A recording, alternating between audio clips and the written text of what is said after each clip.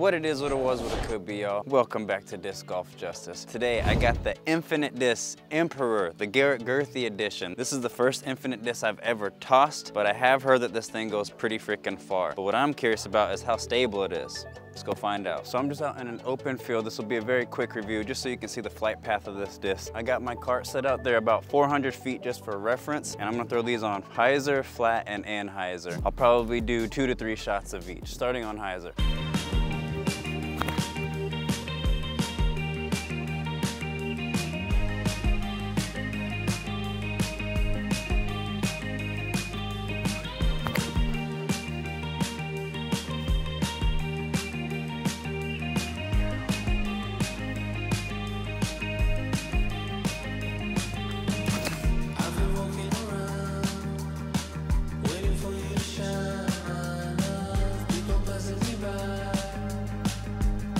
So none of those even came close to that 400 foot mark really. This disc does seem pretty stable, seemed like it was holding the line that I was putting it on. And it did seem pretty glidey, like I will say it's pretty pop top, pretty domey, so it does have a nice glide to it. Let's try it on flat.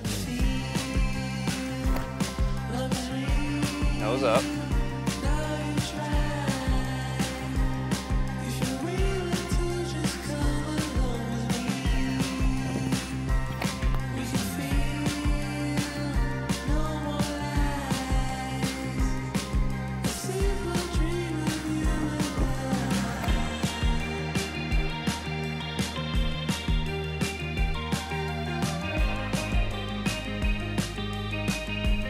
Well, so far I can say that the Emperor is a big bomber. Does really like to go far. That pop top does give it that extra glide, makes it push. Seems to hold a line pretty well. Like it had some turn on that flat release, but on the hyzer it held it. Let's see how we go on the Big Annie.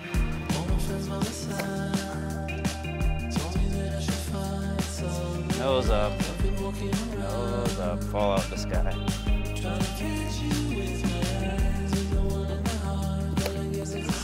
Pulling, pulling. I mean, that's still smashed. The cart.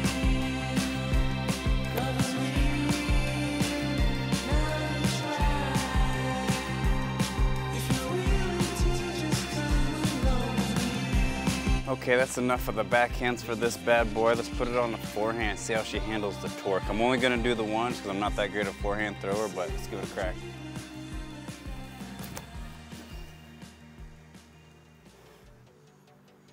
Fairly stable actually, held that all right, folks, there you have the Infinite Disc Emperor, the Garrett Gurthie edition. Very domey, very glidey distance driver, but still retains some good stability. One of my friends really loves this disc, and I'm starting to see why, especially with this cool stamp. It's a pretty neat stamp, I gotta say. I think I'm pretty set for this slot in my bag, but I'm curious what you guys think about the Emperor down in the comments. Let me know. And if you guys like the video, make sure you give it a big old thumbs up. If you wanna see more, make sure you smash that subscribe button so you don't miss out on any of my future content, I'll catch you in the next one.